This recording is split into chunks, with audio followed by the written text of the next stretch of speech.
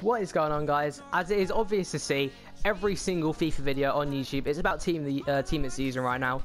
Pack openings, whatever, but I just can't afford it. So I'm going to do something a little bit different. And these are the players, as it stands, will not be in FIFA 18. So I'll start with Carlos Tevez, who, as we all know, is the highest paid player in the world and is in China. Don't know what team he plays for, can't be bothered to look it up, but he's gone to China as you probably already know. As okay, in this team, uh, so as Pato, who I think will be missed on FIFA, Oscar has Witsel, Ighalo, Adei, Mikel, anyone on the bench. Soriano's on China, and so is Hernandez. So that's all the players have gone to China out of the way. I mean, realistically, I don't think anyone used Oscar. I don't think anyone used Adei. No one used Mikel. So maybe Ighalo, Witsel, I mean, Pato probably will be missed by players of FIFA, but as it stands, they're not going to be in FIFA 18. Um, yeah, not, not really much more to say on them. Lassana Diarra has also gone, but he's gone to the I think he's gone to like an Arabian league, Arabian, Dubai, kind of like UAE league. But either way, he's not going to be in FIFA next year.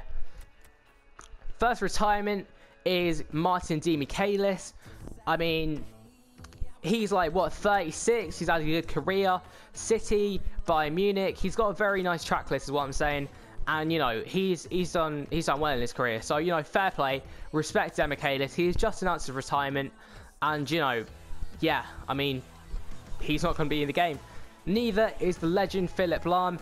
I mean we all know that this guy is still one of the best right backs in the world. He's 34 he's retiring a little bit early.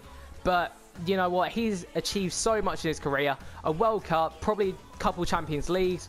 I mean, respect to Lahm. He's done incredibly in his career, as has Alonso. Alonso, thank you so much for the Champions League 2005. I will always love you for that. Um, and just everything you've done at Liverpool, you absolute legend. I mean, every so often you'll see this guy at a Liverpool game on, on TV. He loves the club and we all love him. Thank you so much for everything, Alonso, and good luck to whatever you do in the future. I doubt you'll be watching this, but anyway, it's out there. Next, we have Gueida Fofana, who unfortunately is being forced to retire at 25 due to a recurring ankle injury. That is really sad, to be honest. I mean, I hope he does well in the future. It's, it must be awful to, to, have, to have your career cut so young just because of an injury. I mean, honestly, that, that's bad. So good luck to him. Vanden Borre has not retired, but he has gone to, I think, the Congolese League. Don't know where that's coming from, but yeah, he's gone there. I mean, he's a four-star skilling right back, so I think some people end up missing him on this FIFA.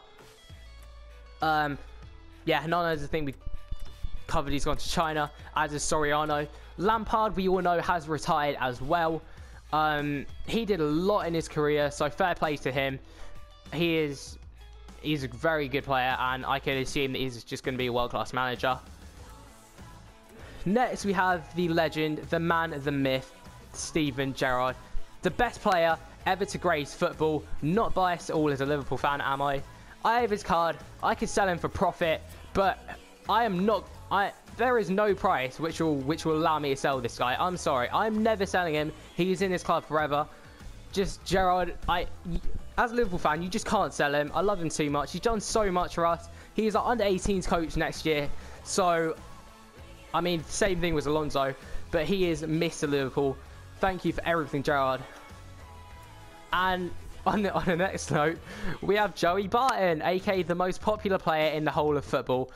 This idiot has played something like 1,400 bets that breach FA rules in like what is in his football career. So he's been banned for two years. He's effectively retiring, given that he's like 33 already.